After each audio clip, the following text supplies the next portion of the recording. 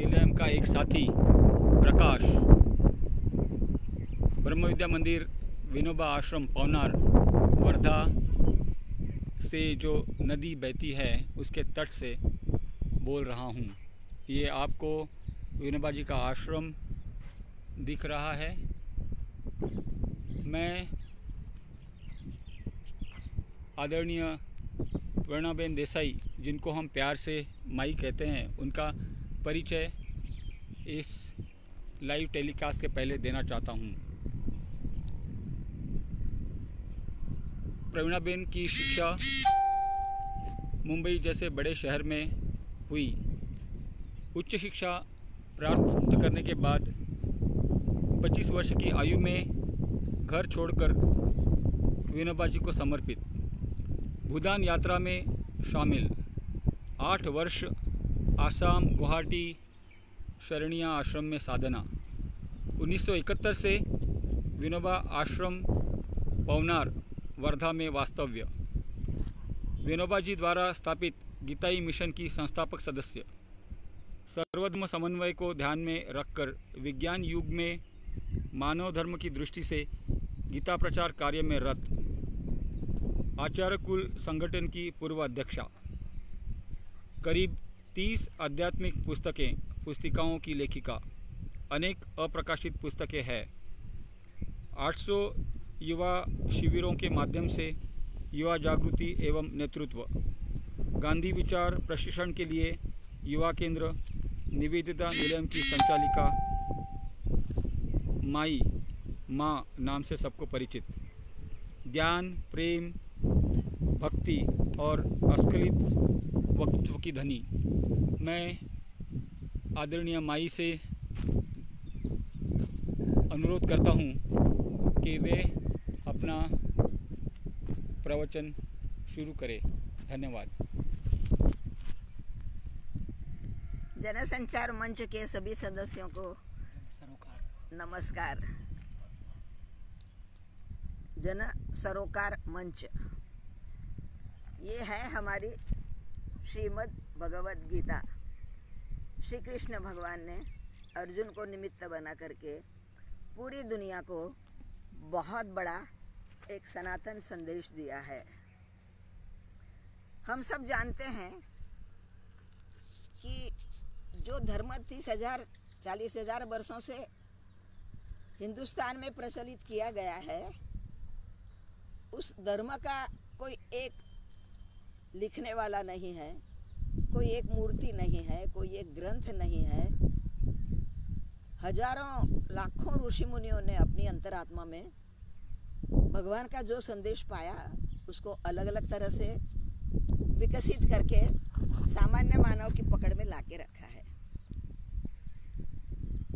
उस संदर्भ में समझने की बात यह है कि एक ऐसा धर्म है कि जो मानता है कि मनुष्य ने सृष्टि नहीं बनाई है। सृष्टि को बनाने वाला, सृष्टि को बनाने वाला जो भी होगा, वो चाहता है कि सृष्टि सनातन टक टिकी रहे। इसलिए सृष्टि के अंदर अनेक नियम, अनेक गणित, अनेक व्यवस्थाएँ जिसका उल्लंघन कोई नहीं कर सकता है, वैसे रचा गया है। अदब्धानी वरुणस्य व्रतानी। एक एक पानी के कण में, एक एक लोहे के कण में, एक एक बीज में अपनी अपनी सारी नियम व्यवस्था रख दी गई है। और मनुष्य का धर्म है कि ये जो सृष्टि बनाई गई है, उसके विज्ञान को समझ करके, उसकी सनातनता को टिकाने के लिए मनुष्य जो करे, उसका नाम धर्म है। धरती को धारण करे, उसका नाम धर्म। जिस धरती पर मनुष्य रह रहा है, उस धरती को हमेशा टिकाए रखने के लिए धर्म की व्याख्या की गई है। और कृष्ण भगवान ने एक जगह कहा है कि गीता गीताश्रय अहम तिष्ठामि गीता में चोत्तमम गृहम गीता ज्ञानम समाश्रित्य त्रिलोकम पालयामी अहम मैं खुद भी ये सारी जो नियमावली बनाई है,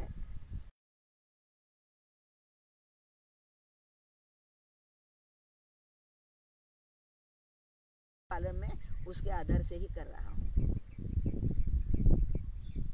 इस प्रकार से जो पूरी सृष्टि को धारण करने वाली श्रीमद् भगवद गीता है, उसकी शरण में हम सब जा रहे हैं।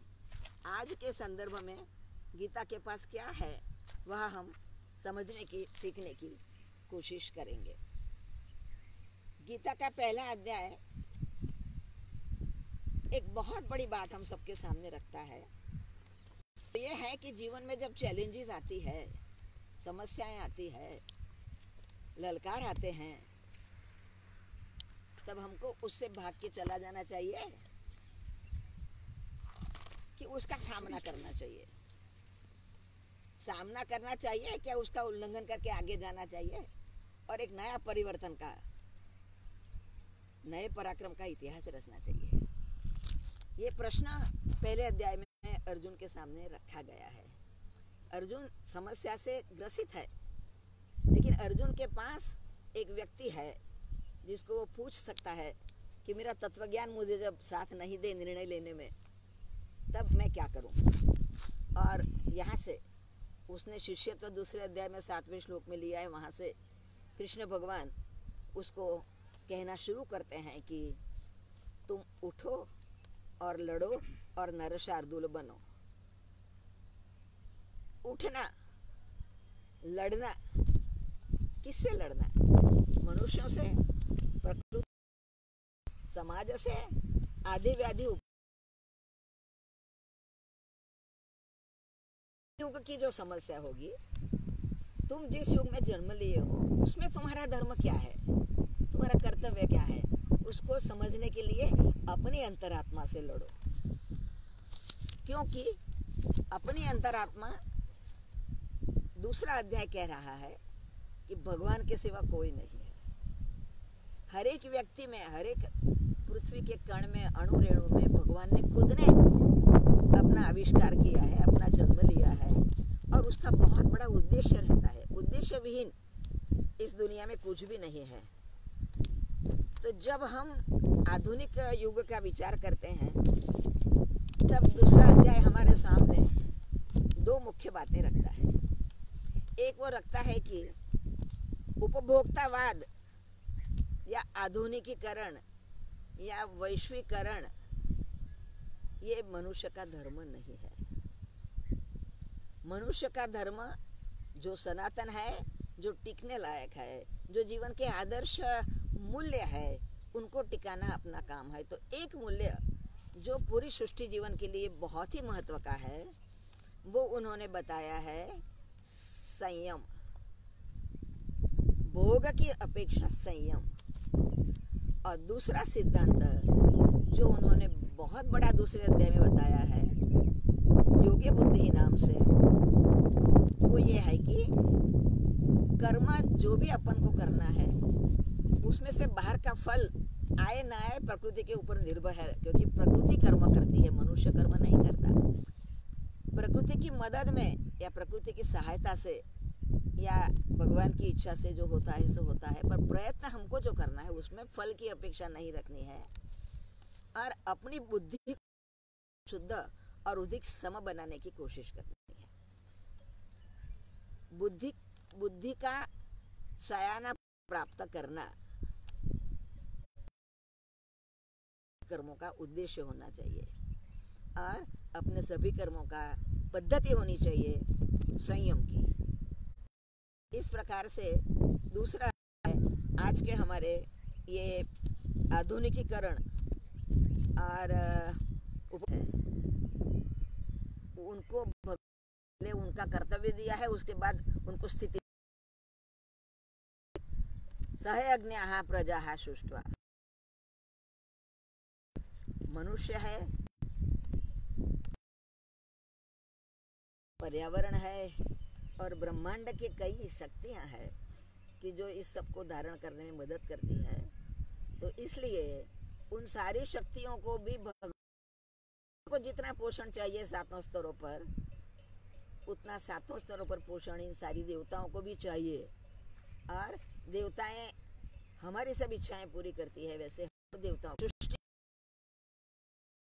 कर्म नहीं करेगा तो चलेगा। इसलिए कर्म अखंड करिए, परंतु कर्म करते करते करते अंदर से कुछ ऐसा साध लीजिए, जैसे आप पूरी प्रकृति और पूरे मानव जाति के साथ एक रूप हो जाएँ। हृदय से आप एक हो जाएँ, ऐसा कुछ आप करिए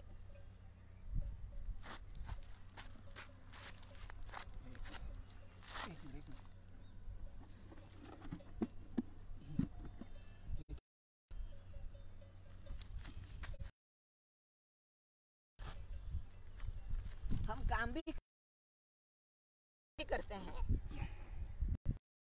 खुद को नुकसान करते बैठते हैं। क्योंकि साधना नहीं आता। तो भगवान चौथे अध्याय में जो काम करने के गलत तरीके हैं, उनको बाद सही अगर आप काम करोगे तो आपका कर्म, कर्मयोग और उसका कोई अहंकार नहीं लगेगा। इसके लिए तीसरे और चौथे अध्याय में भगवान ने आज्ञाएँ दी है कुछ, कि अत्यंत प्रसन्न वृत्ति से काम करो, अच्छी तरह से पहुँच डालते जाओ। जैसे हम मॉन्टेसोरी से लेकर मैट्रिक तक या बी एम तक जो भी पढ़ते हैं, उसमें हम अनेक प्रकार के गणित पढ़ते हैं, अनेक नोटों हैं, लेकिन आखिर में जब डिग्री हाथ में आ जाती है, तब उन नोटों का या उन बोर्डों का कोई अर्थ नहीं सब पहुँचा जाता है। इस तरह से ज्ञान जो होता है, वो धीरे धीरे परिपक्व होते होते कर्म को पहुँचता जाता है। और वो प्रक्रिया पाँचवें अध्याय में भगवान ने बताया चौथे अध्याय में आज के संदर्भ में बात करके हम जो भी काम करते हैं, उससे जगत का नुकसान हो ना हो, हमारा अपना नुकसान होता है। जगत का नुकसान करने की ताकत मनुष्य में नहीं है। पर हम अपना नुकसान करें तो उसको भगवान नहीं संभाल सकता। है इसलिए जगत का नुकसान करने का सोचे बिना, अपना कल्याण करने का सोच कर सारा काम करना है। पाँचवें अध्याय में जो अकर्म दशा का वर्णन किया है, सच्चे में नम्रता आने से अंत में जाकर के वो अकर्म कितना प्रभाव है और किस प्रकार से नेतृत्व निर्माण करता है, ये पाँचवें अध्याय का मैसेज है। छठे अध्याय में एक बहुत नया दालान खोला जाता है कि मनुष्य की है। वो छोटे छोटे संकल्पों से छोटे छोटे कदमों से हम निराशा को, नकारात्मकता को अगर हटा सकें तो अपने में ये अकर्म की जो शक्ति जागृत हुई थी उसका उपयोग पूरी सहायता और नकारात्मकता के साथ जूझने के लिए अंदर के कितने प्रयोग करने पड़े, उसको भगवान ने ध्यान योग कहा है। और कर्म में अनासक्ति, विषयों में विरक्ति, संकल्प विकल्प में स्थिरता उन्होंने आगे किया है। और ये ज़रूर कहा है कि अपने अंदर ही अपना शत्रु है, अपने अंदर ही अपना मित्र है। अगर अपन अपनी ऊँची आत्मा के द्वारा अपने नीचे अवयवों को नीचे, नीचे की फैकल्टीज को अगर कंट्रोल में रख सकें तो हम अपने परम मित्र हो सकेंगे। सातवें अध्याय से बारहवें अध्याय तक जो भक्ति योग है उसमें हृदय को कैसे विकसित करना में से व्यक्ति में के कारण जो वैरायटी दुनिया में पैदा हुई है, उस वो हमारे सबके खेलने के कारण है और उस सब रूप में भगवान हमारे पास है। सूत्रे मणिगणा इव। एक सूत्र में जैसे मणिगण परोए हुए हैं, ऐसे सारी दुनिया में भगवान का प्रेम पिरोया प्रेम के रास्ते जाने से हमको एक नई दुनिया दिखती है, जो हिंसा के रास्ते जाने से नहीं दिखती है। इसलिए परिवर्तन करने के लिए भी और पराक्रम करने के लिए भी हिंसा का रास्ता त्याग करके अहिंसा के रास्ते, प्रेम के रास्ते, प्रेम का पंथ है न्यारा। सभी में ईमानदारी और नैतिकता की एक बहुत बड़ी बहार इस देश में आनी चाहिए ऐसी की है। ऑडियो या वीडियो का उपयोग करते हैं तो साउंड और शब्द दो चीज़ों को साथ लेके चलते हैं। वैसे हमारे ड्रीम्स हमारे हमारी स्मृति सब खाली टूट तो हमको कोई रूप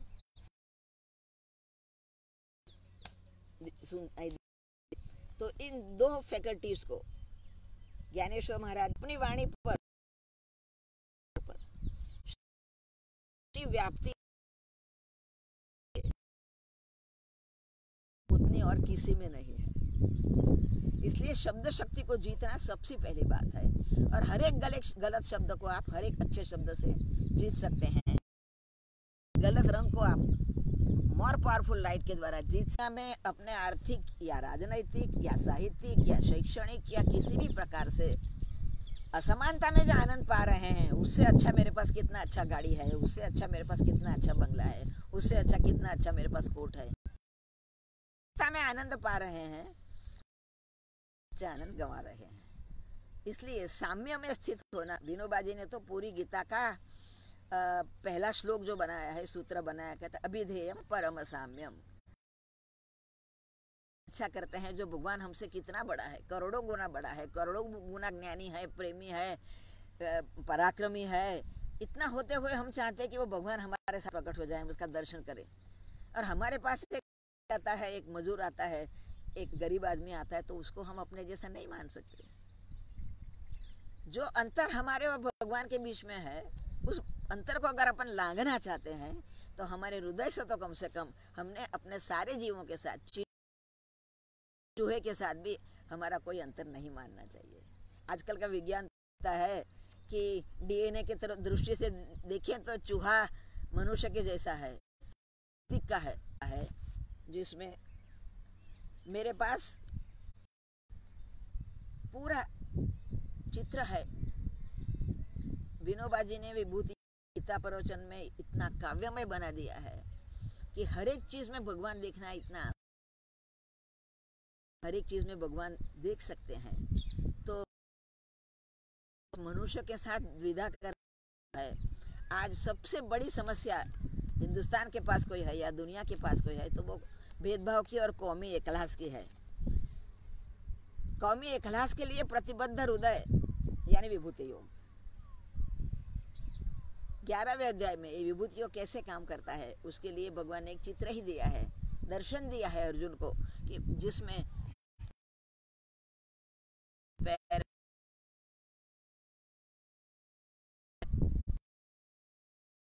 ऐसे असर कर जाने वाले प्रकाश और प्रभाव जहाँ है, उसका नेतृत्व लेकर के हमको आगे बढ़ना है। तो ग्यारहवा अध्याय नेतृत्व का अध्याय है। भगवान सबका नेतृत्व है और अर्जुन को कहते हैं कि तुम भी निमित्त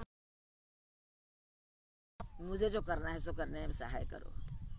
बारहवा अध्याय, भक्ति से भक्त बनने हम केवल शरीर के लिए काम करते हैं, के लिए कमाना शरीर के लिए मौज, मज़ा, शरीर के लिए सुविधा, शरीर के लिए गति मानता, सब शरीर के लिए। है, वाणी है संकल्प शक्ति। कब समझ देंगे? तो ये तेरहवा अध्याय कहते हैं कि शरीरात प्रवृहित अन्यथा संस्कार संभव क्लिष्ट जीवितम च। हमारा जीवन के पीछे पड़े हैं। और हम अपनी अपनी आत्मा की उन्नति को भूल गए हैं। चौदहवा अध्याय कहता है कि, मात्र तीन तो गुण है दुनिया में। कर्म करके आलस्य को जीत लो तो तमोगुण को जीत लिया। भक्ति करके उसके अहंकार को और फल को जीत लो तो आपने रजोगुण को जीत लिया। और ध्यान करके सात्विकता का भी अहंकार छोड़ दिया। और सात्विकता में हमेशा के लिए काश स्थिरता, सौख्य में अगर हम लीन हो जाएँ तो हम ब्रह्म निर्माण तक सत्व, रज, तम तम से सत्व में जाना, सत्व में से रजो में जाना, रजो में से सत्व में जाना, सत्व में से अधिक सत्व में जाना, और अंत में ये शांति पाने का एकमात्र रास्ता है। अध्याय में भगवान ने बहुत बड़ा समन्वय किया है इन पंद्रहों अध्यायों का और कहा है कि परिवर्तन की और प्रतिकार की श्रेष्ठ रणनीति रचने के काल में जो भी काम करने वाली शक्तियाँ हैं उनको समझ करके आपको आपका विज्ञान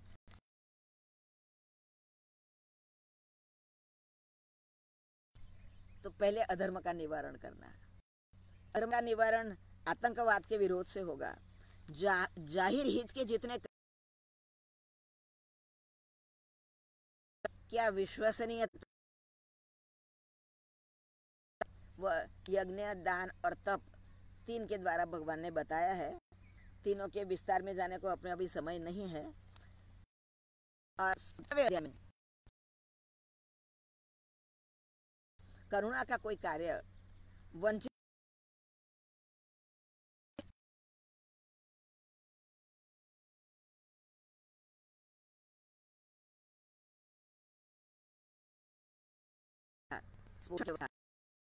तो थे